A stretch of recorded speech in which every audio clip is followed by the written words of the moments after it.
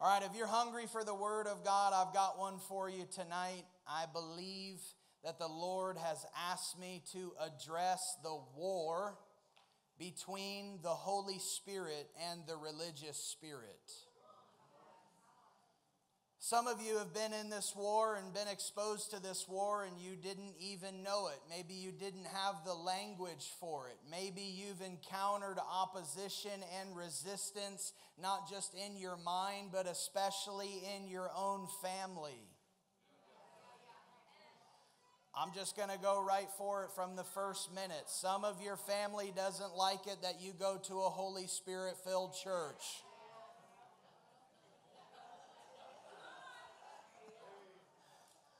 What in the world are they doing over there? See, because there's something about the arrogance of humanity that we think we need to understand everything, and we often criticize what we're afraid of.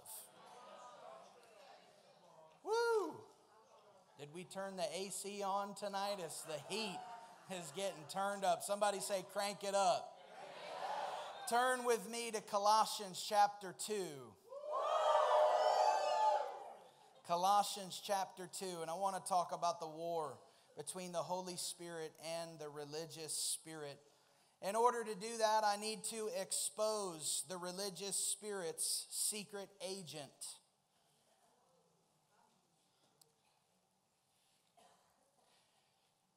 It's called tradition. This one's going to hurt. But I believe I'm carrying a word from the Lord, and I want to express this with the love and the heart of God. Amen. Colossians 2 and verse 8, before you look there, would you just close your eyes with me? Father, thank you for this evening. Thank you for your presence. Lord, I thank you that scales of religion and dead tradition are going to fall off of many eyes and hearts tonight.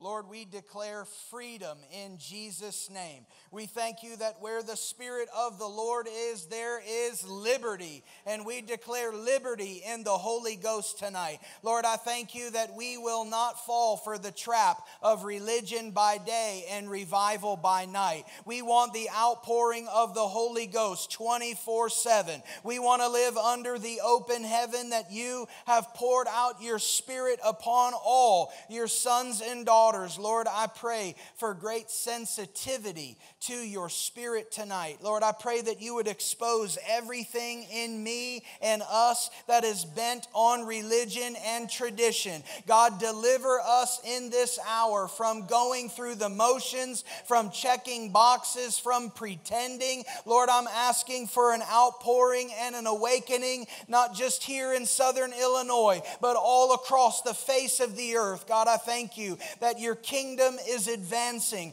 that your glory is spreading. Somebody help me tonight. Lord, I thank you that you are above and beyond. You wish to do all that is exceeding abundantly, far beyond anything we could ever ask or hope or imagine. Lord, I thank you that there's a stirring in the Holy Spirit. God, I thank you that you are giving your people permission to burn, not just tonight, but every day, tomorrow, Tuesday Tuesday, Thursday, Friday, every day. Lord, I thank you for your great grace and great power that would accompany the preaching of your word. And all God's people said, Amen. Amen. Colossians 2 and verse 8, Paul writes, See to it that no one takes you captive. Would you say captive? captive. Uh oh, some of y'all are captives.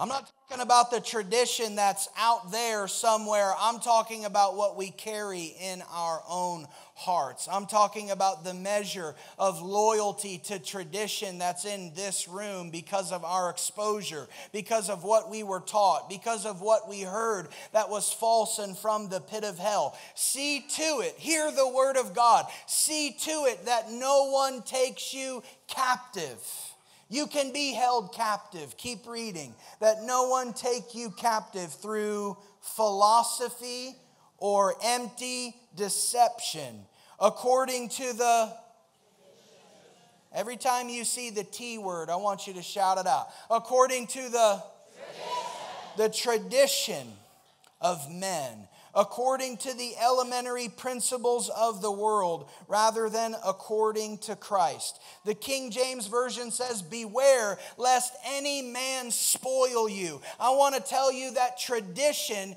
dead religious tradition, spoils what God wants to do in your life. I am tired of seeing people get set on fire for Jesus only to go around the wet blanket brethren who had an answer for everything, who were critical and dead and dry and whitewashed tombs, who wanted to put the fire of God out of your life. Listen, don't hang around the wet blanket brethren. Be free and be delivered. That if they want to live in captivity and bondage, if they want to blame everyone else for their religious addiction to tradition, you leave them alone. But you burn for Jesus. You pray in tongues. You prophesy. You lay hands on the sick. You cast out devils. Stop apologizing for the Holy Spirit.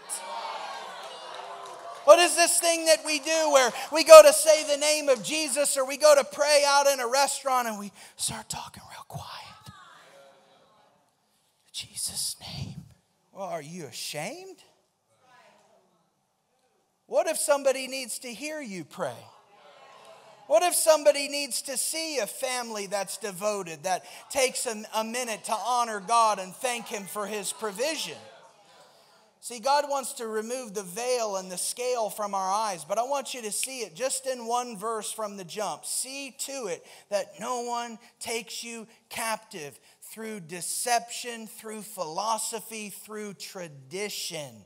Tradition is deadly. Let me lay a framework so we're all on the same page. Deception is the worst form of captivity because you don't even know you've been bound. It's the worst form of captivity. You don't even know you're in shackles. You're boasting of your captivity.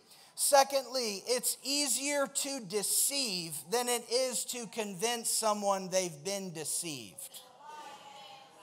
I've preached a few messages on deception, and you can always cut the air really with a knife because it gets thick. Why? Because we think everyone else is deceived, but God has to reveal the loyalties, the proclivities in us that are bound in deception. It's easier to trick someone than it is to convince people they themselves have been deceived. Next, tradition itself is not inherently bad but it can be the bedrock of deadly deception.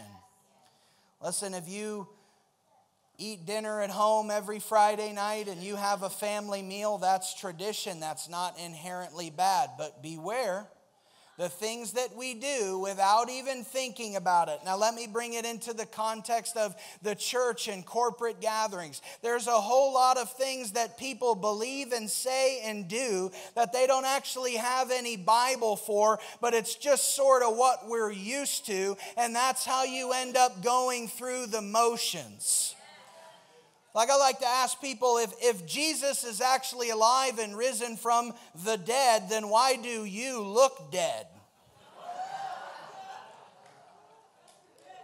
Like if the Word of God is alive and active, then shouldn't our preaching be alive and active?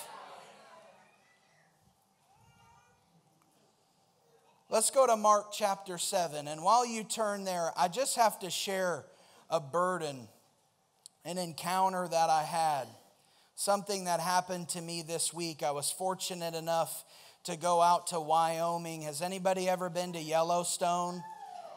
Oh, quite a few people. Awesome. So you've seen Old Faithful then? Does everybody know what Old Faithful is? It's that geyser that explodes, that erupts every 60 to 90 minutes. Well, let me just play the video of what I saw. Let me share with you what the Lord showed me.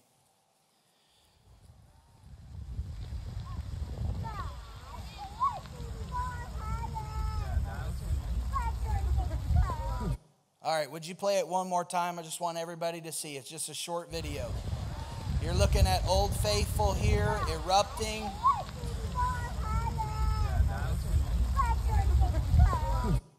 Thank you. This is just this past week. It was 39 degrees outside.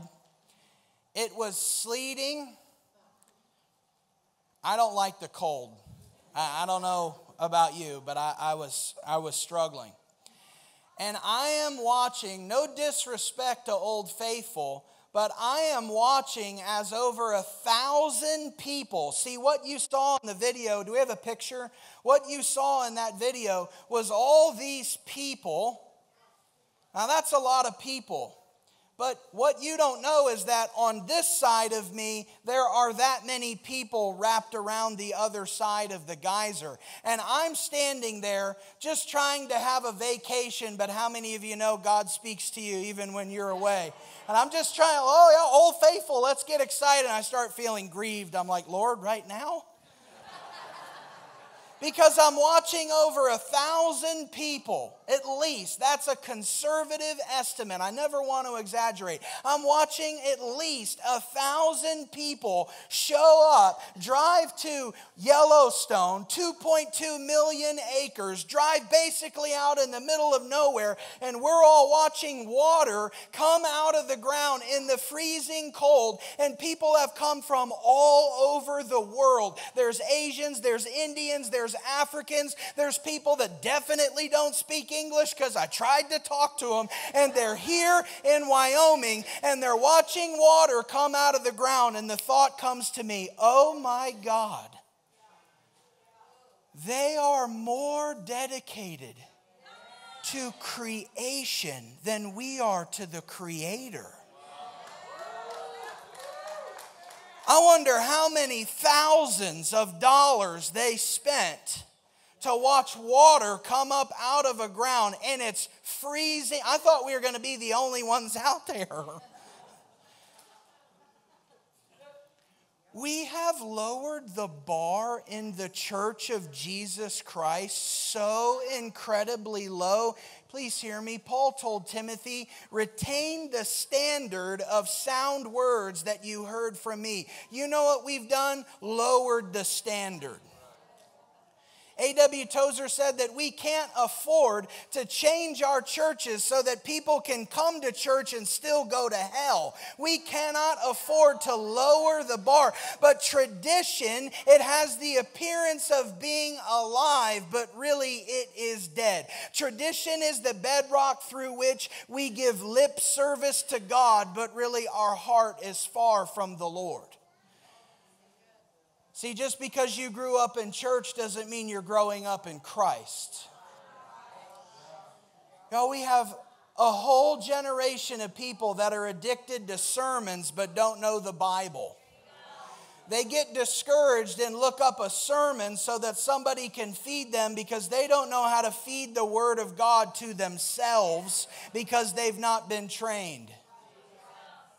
And I like sermons, I'm preaching one. Mark chapter 7, I want to look at the words of Jesus. And remember, every time you see the T word, I want you to shout me down here. Jesus is going to address tradition in the Pharisees in Mark chapter 7. The Pharisees and some of the scribes, verse 1, gathered around him when they had come from Jerusalem.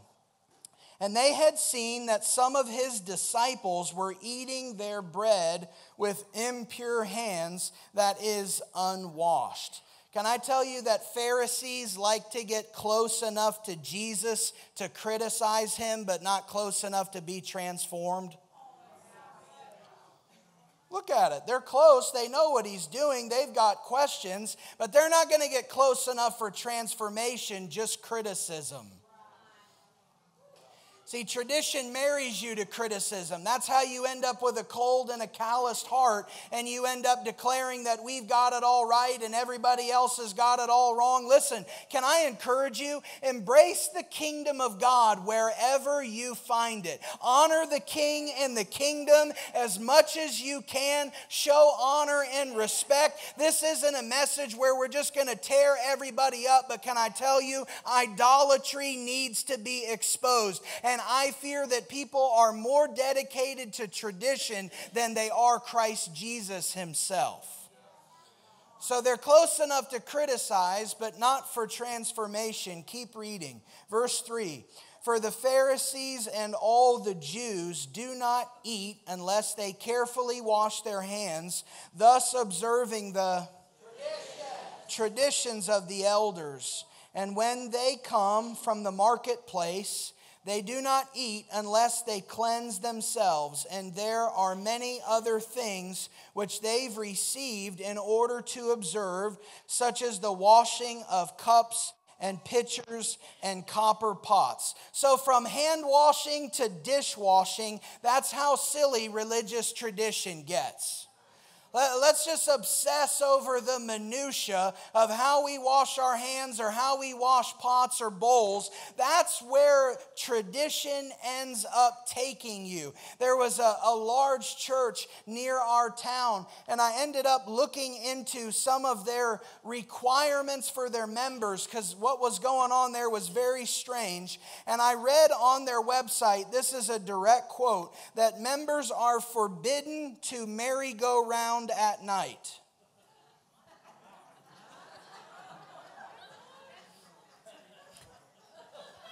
like at what time like the kids are on the merry-go-round at 7.30 Oh, it's getting dark. 7:45, 8 o'clock. Oh, it's about to turn into a sin. Why? Because that's the kind of stuff that we make up in our minds that we obsess over when God is looking at the heart. Ride the merry-go-round at midnight if you want to. Just make sure your life is right with Jesus.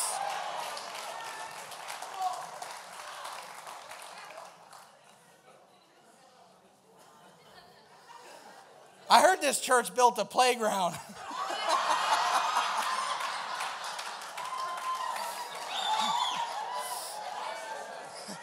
Bless that playground in Jesus' name.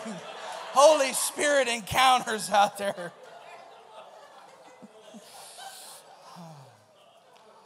I love it. We're, we're getting into it, and half of you are laughing, and half of you don't find anything funny. It's fantastic just tells me I'm obeying the Lord. Verse 5 The Pharisees and the scribes asked him, Jesus, why do your disciples not walk according to the of the elders, but eat their bread with impure hands? And Jesus said to them, Rightly did Isaiah prophesy of you, hypocrites. Now, that's not very nice, Jesus. Oh, see, traditional Jesus doesn't want to offend anybody. I, can I ask a question? Is there a traditional and a contemporary Jesus? Woo! We're going to have a vote. I'm going to win a popularity contest after this. Oh, what, what is this thing that we do? Well, why, why, do you, why do you not wash your, your hands? You eat bread with impure hands. And Jesus says, Isaiah was right. You guys are hypocrites. Follow the thought. As it is written, this people honors me with their lips, but their heart is far away from me. But in vain do they worship me teaching as doctrines the precepts of men. Listen, true worship honors God with your lifestyle, not your lips.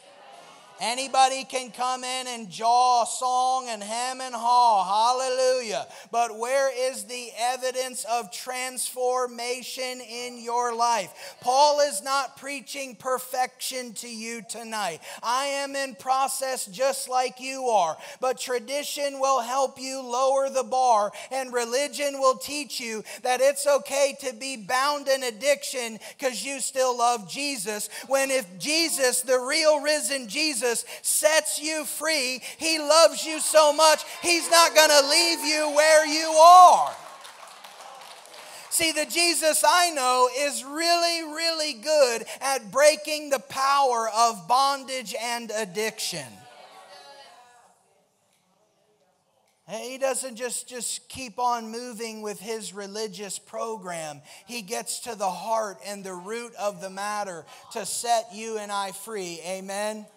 If you were bound in addiction in your life of any kind and Jesus set you free, raise your hand.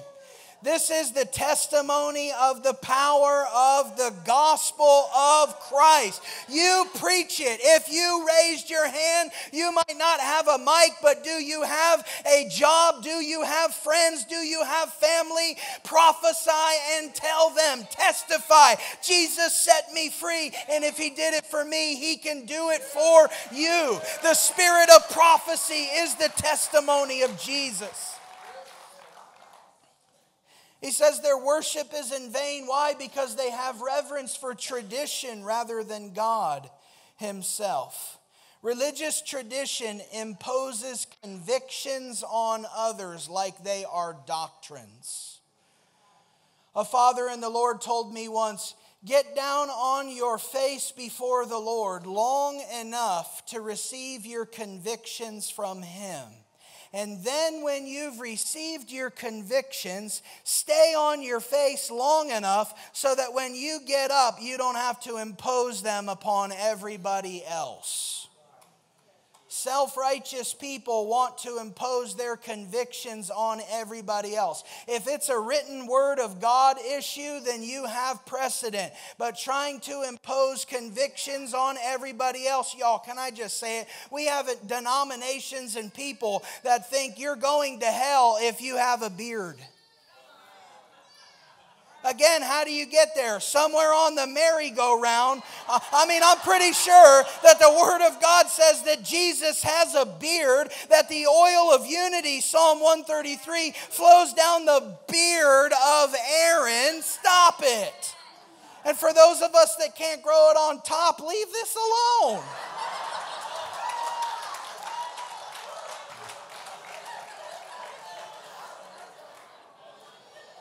On, Lewis. you thought you were going to escape this sermon. I, I, am going to mail you flowers, but they're going to be for Mona.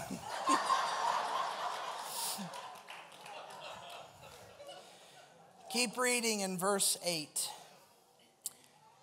Jesus says, You teach his doctrines, the precepts of men. Verse 8, neglecting the commandment of God you hold to the.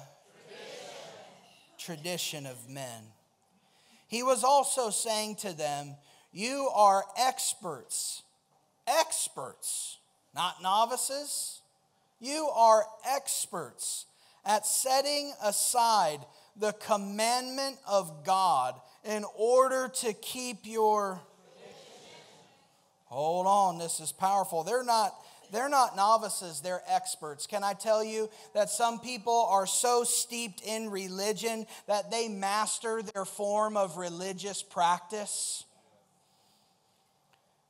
How do you become an expert? Is anybody in here an expert at anything? Raise your hand. You guys just have like a recent sermon on pride and humility or No, I'm not an expert. Is anybody in here a firefighter, policeman, paramedic? You would, we would consider you an expert at helping people at saving lives. In other words, you have been trained to help people in crisis. A paramedic, let's say, shows up and they are an expert at helping people that are in crisis. Do you know how you become an expert? You get teaching, you get training, you study, you practice. I'm telling you, the religious spirit trains and teaches and practices and will walk you around the merry-go-round so that you end up giving loyalty to tradition rather than Jesus Christ Christ Himself. We can hold to our traditions and literally neglect the very commands of God. This should put the fear of the Lord in our hearts. Keep reading verse 10. For Moses said, Honor your father and your mother, and he who speaks evil of a father or mother is to be put to death. But you say, If a man says to his father or his mother, Whatever I have that would help you is Corban, that is to say, given to God. You no longer permit him to do anything for his father or his mother, thus invalidating the word of God by your. One more time which you have handed down. Please note that handed down. And you do many things such as that. I want you to note the progression that Jesus says they go from neglecting to setting aside to invalidating. Religious tradition grows from dismissing God to rejecting Him to completely nullifying Him and making it void. Listen, when we, if, when we elevate tradition above revelation, we are actually worshiping ourselves. Some of you didn't hear me. When we elevate tradition, above revelation, above what is written in the Word of God. We're actually worshiping ourselves. We're doing things that God never even asked or required of us. Can I give you a crazy example of how tradition blinds people? I recently read through the New Testament. Does anybody know offhand how many chapters there are in the New Testament? Where are my Bible people at? 260. Some of you are like,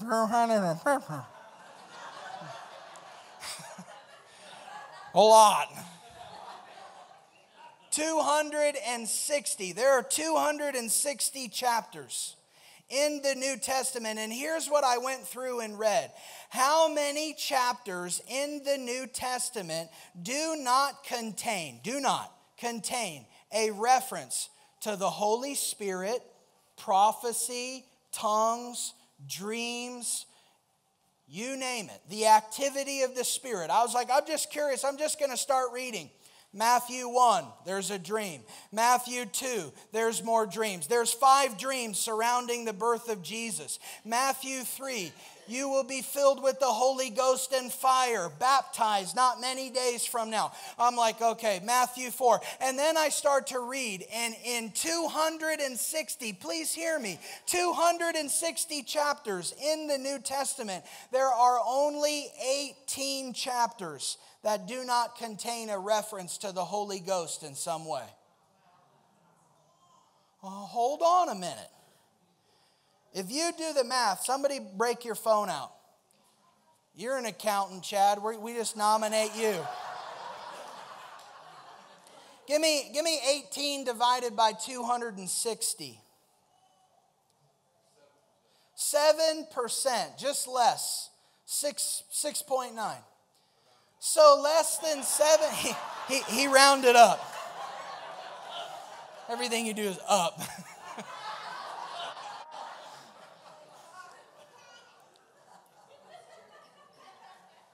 track with me here now. Less than 7% of the New Testament chapters doesn't contain a reference. And you know what those 18 chapters, a lot of them were? The crucifixion accounts and parables. Like Matthew 13, it's all parables. like, okay, here's one. But you could argue it's a parable about the kingdom of God with the Holy Spirit moving all through it. So, how in the world do we end up reading the same book and arriving at completely different conclusions? It's that sneaky thing called tradition. How do you read Holy Spirit, dreams, visions, encounters? I don't read anywhere in the book where people encounter God and remain the same, but that's what we're used to in America.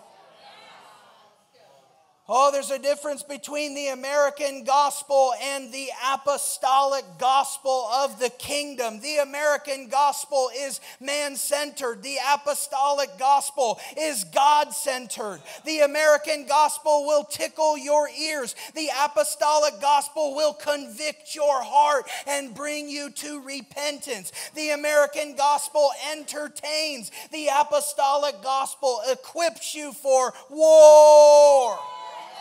We are in a fight. We are in a war. But the wet blanket brethren just wants you to calm down. Like you, you just you just need to calm. Some of you like calm down. We had some friends, they gave their life to the Lord. God was moving powerfully in their life, and all of a sudden, their family member, who's a pastor, is now upset that they're saved. No, no, no, you, you didn't hear me. Oh, what in the world happened? So they were living like hellions in the world, and all of a sudden they get saved, and their family member, who's a pastor, wants to have a meeting and talk to them because they were filled with the Holy Spirit. Because they were praying in tongues and prophesying and dreaming and experiencing the activity of the Holy Ghost. And they said to their family member, you didn't ever confront us when we were going to parties and driving home drunk, but now you want to have family meetings because we're in church every time the doors open, because we're leading our friends to Jesus, because we're what? Because the fire, they want to put out your fire. Just calm down and take it easy. You can be passionate about sports. You can be in the idolatry of entertainment, but oh, just don't get excited about Jesus. I remember when we planted our father's house and they were like, You're never going to grow a church that has two hour services. And we were like, How about three? How about four? How about we let the presence of God and the, the Spirit of God loose and we don't restrict Him and quench Him or grieve Him? And I just wonder what God can do.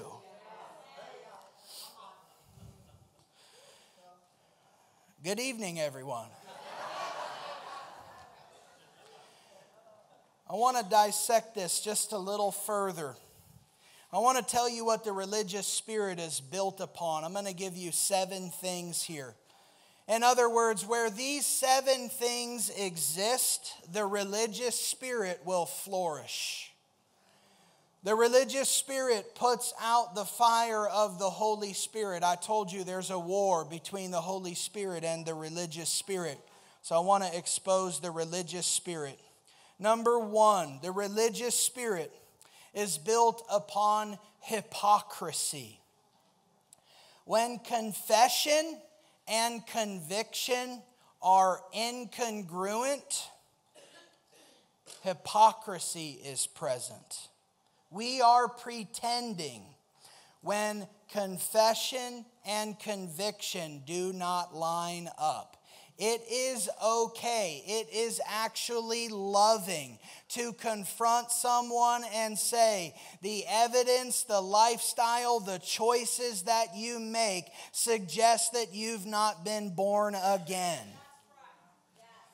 That's not hateful. That's not bigotry. That's love. That's so you don't show up at their funeral and cringe because you know they went to hell. Meanwhile, the puppet who's pastoring the service probably tells everybody they're going to heaven. I remember when a, a, classmate died a tragic death, didn't have a lick of the gospel in his life. And we go into this church, and we, it's a very religious establishment. And I am seated with my classmates, and there's at least 60 to 70 of us. And basically, all of them are lost. And I'm praying that they would hear the gospel. And what do they hear from the priest? Oh, he's in heaven, and everybody's going going to heaven, and I wanted to start bawling. Because we think that our robes and our candles and our incense and our dedication to tradition saves because we are deceived.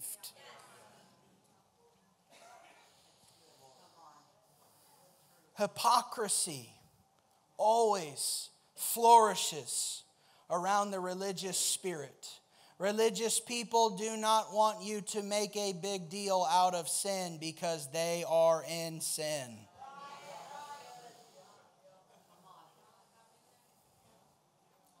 Number two, this should be obvious unbiblical tradition. The religious spirit is built upon, it flourishes under unbiblical tradition. This is inherited behavior and belief that we cannot explain or defend. This is the essence of going through the motions. Y'all, who taught you what church is supposed to be? Who, whoever said that church was supposed to be three cute songs and a little pep talk and a pep rally? Well, where did we ever get this idea that actually feeds consumerism rather than conviction? Number three, the religious spirit is built upon the fear of man.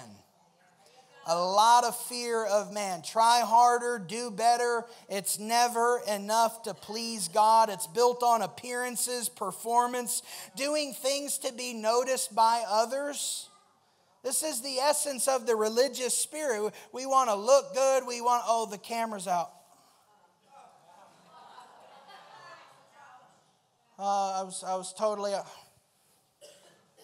or, or I, I want people to know how much I gave or how generous I am, or, you know, starting another three day fast. Jesus addressed that stuff. He told us to fast in secret, to give in secret, to serve in secret. Your heavenly Father will reward you. But when you're religious, you want everybody to notice because it's about the fear of man. Look at how spiritual I am. Number four, the religious spirit is built upon dishonor. It's a lot of dishonor, a lot of competition. For God Himself, there's dishonor because we've abandoned His ways to practice our own idolatry. There's dishonor for others. In the religious spirit and religious mindsets and contexts, there is a massive amount of comparison and jealousy. There is all kinds of competition going on. The religious spirit is highly competitive. It's also very possessive. I said this morning that religion makes leaders possessive of people and people possessive of their leaders. So when God puts a call upon my pastor, you're like Smeagol from Lord of the Rings, like, my precious. You're actually not entitled to someone's time. Woo!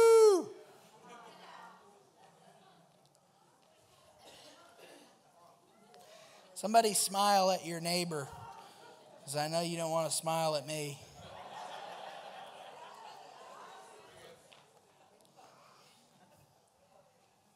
I promise I love you and I love the church of Jesus.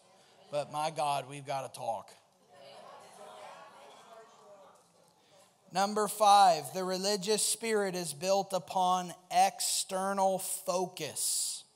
There's always an emphasis on appearance, on food, on clothing. Anything but the heart. The religious spirit is obsessed with the externals, what you wear, all this stuff, whether or not you have a beard.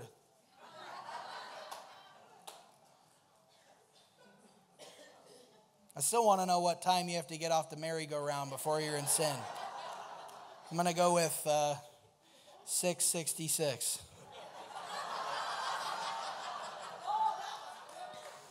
Whoa, glory. Somebody just got it. Number six, the religious spirit is built upon guilt. When you are under a religious spirit, you feel a massive amount of guilt. There's condemnation everywhere. Listen, condemnation pulls you away from God, conviction harpoons you and pulls you in closer. Conviction is a good thing. We should be grateful for the conviction of the Holy Spirit. It actually means that God has not given us over to a depraved mind and let us run free to hell. It's Him beckoning us, calling us, saying, Hey, you can't do that. You don't, you shouldn't go there. Don't talk to your wife like that. That's the conviction of the Holy Spirit. But can I, some of y'all, some of the wives were like, yeah. Saw a few of those head nods. Did you hear that, babe? There's tons of guilt.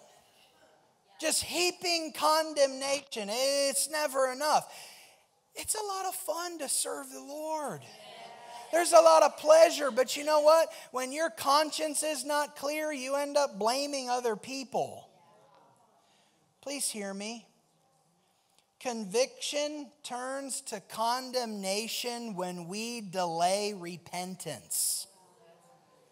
You come under the conviction of the Holy Spirit and you know you need to repent and get something right in your life, but you delay and all of a sudden you feel condemned. And then you blame the preacher because they didn't correct you correctly. I was telling a story on Friday night to the leaders that we had somebody that left our church and said, Paul, you are abusive, you are harsh, you are angry, all this stuff. They just let me have it. And then that very same week, I believe it was three days later, a sweet old woman came up to me and she said, I just want you to know that your preaching is like water to my weary soul. And I was like, keep, keep going.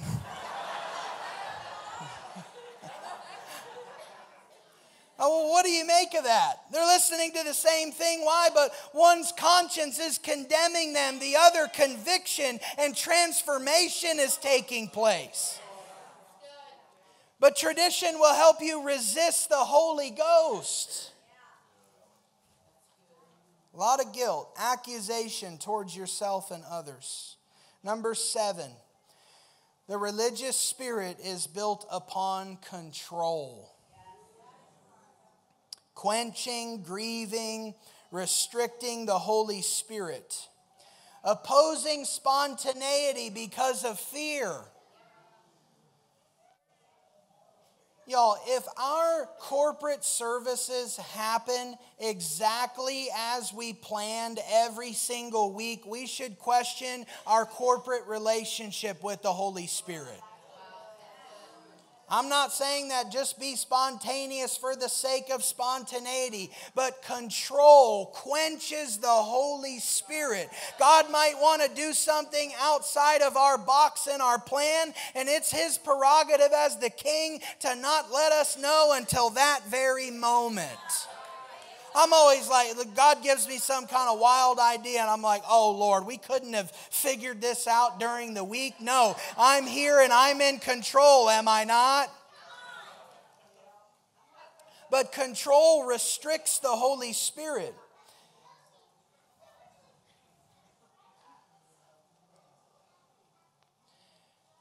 God wants this church back. I fear that we've kicked the Holy Ghost out of his own house.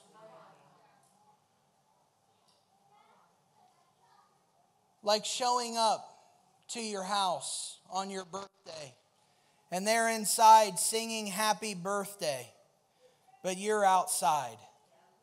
Well, they're singing to you. It's all about you. Jesus, it's all for you. No, you're at the door. You've been barricaded because we don't like your manifestations.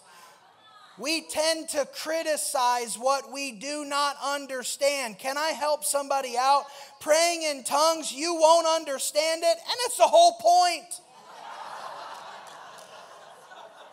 I mean this in love, but it's like some people, they're just too smart to pray in tongues.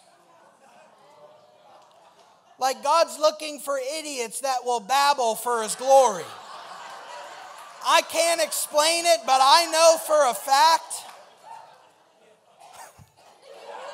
I'm a big idiot. So I can't explain it, but I know for a fact that somehow Confusion lifts and clarity comes when I flap my tongue and my mouth in a language I don't understand when I'm discouraged and I'm down and I'm beaten up, when I start praying in the Holy Ghost, I'm building myself up on my most holy faith. I'm being fortified. The Spirit of God is praying through me. It says that we don't even know how we ought to pray, but religious people are still trying to figure out are they saying banana backwards?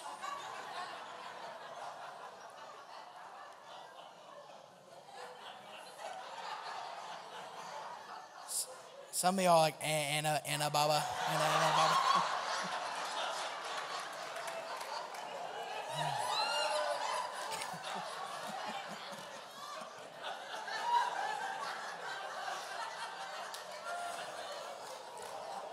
My wife told me that I couldn't do comedy because I laugh at my own jokes. That was hilarious.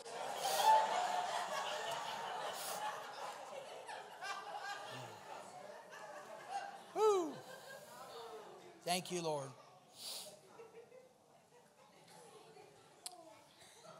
Thank you, Lord. Thank you for your presence. I want to give you three things that the religious spirit despises. And then we'll pack these altars and see what God wants to do. The religious spirit despises, number one, the Holy Spirit Himself. There is a war between dead religious tradition and liberty in the Holy Ghost.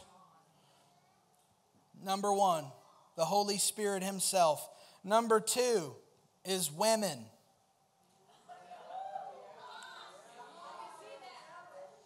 ain't got thrown out yet. I need to keep plowing.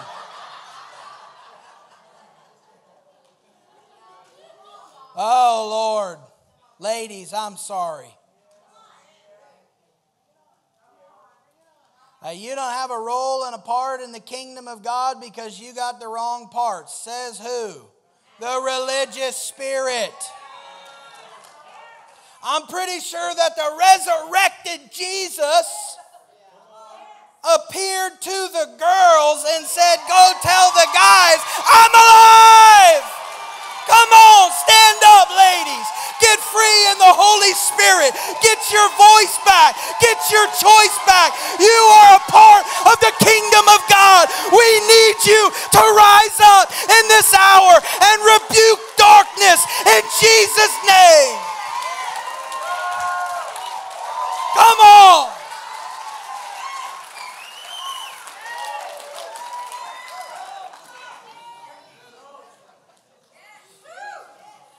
Oh, I felt something break.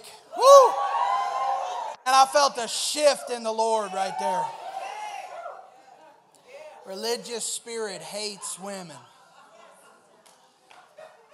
wants to suppress and control, minimize, condemn.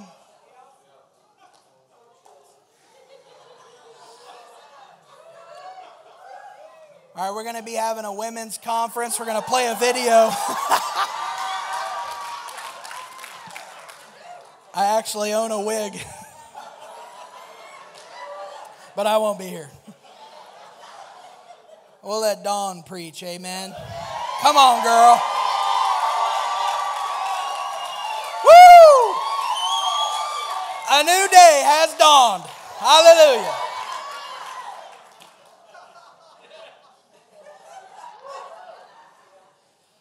Boy, this is raucous. Y'all want to come back tomorrow night?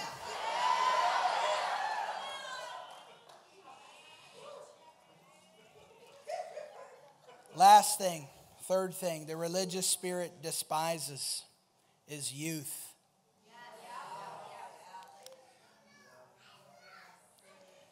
This is like a, a telltale sign. I, have I've learned this People are under a religious spirit when they come up to me and they're like, How, how old are you?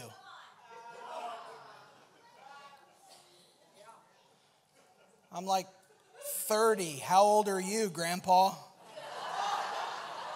79? I mean, please hear my heart, but what's the right age to serve the Lord? Because the devil's going to tell you when you're young, you're too young, and when you're middle aged, you missed it, and when you're old, you're out of the game. No, serve Jesus Christ, whether you're 8 or 88. Get on fire for God and make a difference. Oh, you're too young. Oh, you don't know enough. No, I know Jesus is alive, and there's a whole lot of people that need what God has done in my life.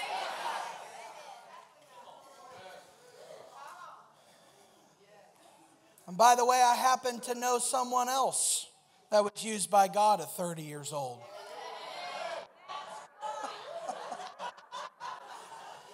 but I read he had hair. Unfortunate. Jesus, creative miracle right now. Well, I bet we'd have revival if I started growing hair on my head. Hallelujah! Woo!